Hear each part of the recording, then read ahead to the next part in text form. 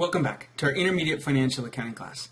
In this lecture, we're talking about the balance sheet. And in our last segment, we walked through all the different elements of the balance sheet, the formats allowed on the balance sheet, the limitations of the balance sheet, and most importantly, what a balance sheet is used for and why it's so useful in our analysis and our understanding of a company's financial position. In this segment, it's time to start building a balance sheet. And for us to do that, we're going to go back to our example of CBDS Incorporated. Now, if you remember from our previous lecture, we have already created an income statement and a statement of retained earnings for this company. Now we're just going to add a balance sheet. Let's go ahead and transition to Excel.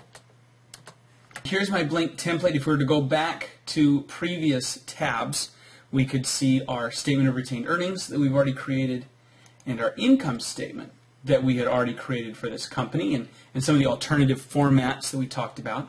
Now, though, I want to focus on the balance sheet. And you can see here that I've already set up the basic heading for a balance sheet. This heading is different than what we see on the income statement or the statement of retained earnings because the balance sheet is different. It's not a summary of everything that's happened all period. Rather, it's that snapshot that we talked about before. This is what we look like right now. So instead, instead of saying this is our revenues for the period ended December 31st, Instead, we say this is as of December 31st. We're not summarizing a year's worth. We're just saying at the end of the year, this is what it looks like. So make sure, as we're creating our balance sheet in good form, the first difference is that we're now going to call it as of December 31st, as opposed to for year ended, December 31st. Now, before we go any further, I do want to mention the correct format of a balance sheet is one of our key concepts. So make sure you're comfortable with how we build the different elements of our balance sheet. Now that we've talked about the heading, let's talk about the actual format of the balance sheet itself. You can see that we start with the assets section. The other thing you can see here is that I've put in two years worth of data. Now this is not required by GAAP to include previous years, but it is required by the SEC for publicly traded companies. It's also required by a lot of companies who want to do comparisons of your financials. So often if you take your financial statements to a bank, they're going to want to see at least this year's balance sheet and last year's balance sheet for comparison. The other reason that we need it is because it helps us create the statement of cash flows. Now as you scroll through here, you can see that I've also broken down our assets section into several different topics. Current assets, long-term investments, PP&E, intangible assets. And the one I didn't put in here was other assets. And sometimes we see those as well, just not as frequently.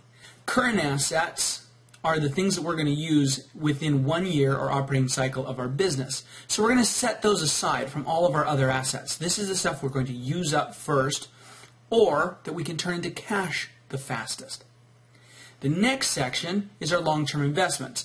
These are assets that we purchased to sell later. They're not day-to-day operations. We're not using them. We purchased them to sell them. So you can imagine if I've got an expansion fund and I've purchased stocks and bonds that I hope will grow, I'll put them in my long-term investments. If I've purchased extra land so that I can build my building and then I'll sell this as the area develops, then that would go in long-term investments, etc. The next section is our PP&E. Most people are pretty comfortable with the idea of property, plant, and equipment, PP&E. It's the physical assets of the business. This is our land, our buildings, the equipment that we use to produce, or the shelves that we use to put our products on, the computers that we use, furniture in our office building, etc. All of these long-term physical assets. The other section that maybe is a little bit harder, but the same idea, is the intangibles. These are also assets that we use to make money, but they're the assets that don't have a physical presence, so patents, copyrights, etc. That wraps up our discussion of the assets section, except for two last points. The first is there is an other assets section, and we see them occasionally. Uh, these are I, these are assets that just don't fit into any of the other categories. About the only thing that goes in here on a regular basis would be loans to employees. It really doesn't fit anywhere else, and even that one you could classify as a long-term investment if you wanted to. So eh, you just don't see it very often. Uh, anytime you see a company that has a big other asset section, it means they've done something wrong because most of those assets could be properly classified somewhere else.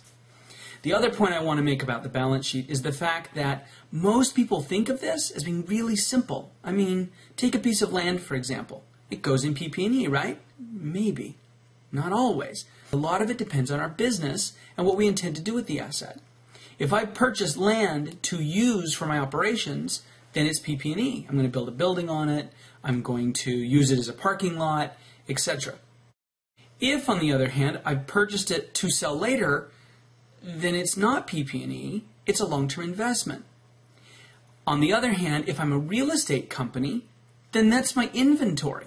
So land could be any of these three different categories depending on my business model and what I intend to do with it. So you have to be careful. You can't just classify things willy-nilly based on what you've normally seen them be.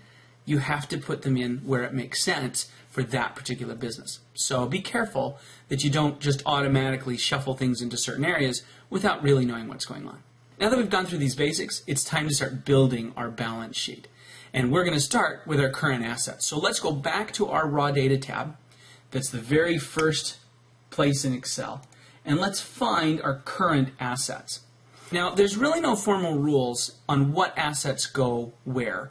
Uh, I mean, other than in the major categories. But what order you put them in is really up to you. The current asset section, though, by tradition, if not by GAAP rule, should be in order of liquidity. So how fast could you turn it into cash? And with that in mind, the very first asset is going to be cash. And I'm going to highlight that we're using these, and I'm going to use a slightly different color just to show that I use it on the balance sheet. We'll use this nice purple. So let's go back to our balance sheet. And right here, I'm going to type cash. Now, in the past, we've said you can write them or type them. It's going to be much easier this time if we link these in so we can copy them later. So this time, I'm going to recommend that we link them, and I'm going to do it too. Let me just warn you, as we move into building this balance sheet, you know I go fast in Excel. I get excited. I get to play with Excel, and off I go. So if you need to stop, pause it, do the work, come back, keep going, please do. Don't let me get ahead of you. Let's go ahead then and link in our cash ending balance and our cash beginning balance. So this is going to equal this 70,000. And the nice thing about Excel is it's already built so that you can copy equations across and it will just grab the next cell. So let me show you what I mean by that. If I click right here, you see this nice little black square at the bottom right corner of my cash balance at the end of this current year. If I click on that, you'll notice it changes to a little plus sign. And I'm going to drag that over, and it's going to copy that equation. And you can see we've gone from the 70,000 to the 100,000. Excel has automatically said, well, if you wanted the 70,000 in this cell, then you must want the cell next to it in the next cell. So if we go back to our data tab, you can see there's the 70 and the 100. 70 100. So we can do this as we go and kind of speed up this process. The next asset that we're going to list is accounts receivable. And along with accounts receivable is always the allowance for bad debt. Allowance for bad debt is the the profits we've set aside for people to rip us off. We know we're not going to collect all of our accounts receivable. Some of those people we, we sold to on credit are going to default. And so that's what the allowance does, is it covers that. So let's go ahead and get these two numbers. So I'm going to go back to my raw data tab, and accounts receivable is right at the top. So I'm going to click on that and get the 180 here in B6. And the allowance for bad debt is just below that, a couple of lines below. There's my allowance for bad debt, $10,000 here in B11. And I'm going to hit enter. Now, the one thing with the allowance for bad debt, before I copy these across and get the year one numbers, allowance for bad debt is a contra asset which means it reduces the value of my assets. Remember, this is the stuff we think we're never going to get. So I don't want it in as a positive number. It's got a credit balance in with all these debits. So like accumulated depreciation, it's going to show up as a negative. So I'm going to type in a negative sign here and hit enter. If I add these two up, the 180 minus the 10, I think I'll be able to collect about $170,000. Now, let's highlight these two cells. There's my nice little black box down at the bottom copy those across, and Excel has automatically updated those two equations.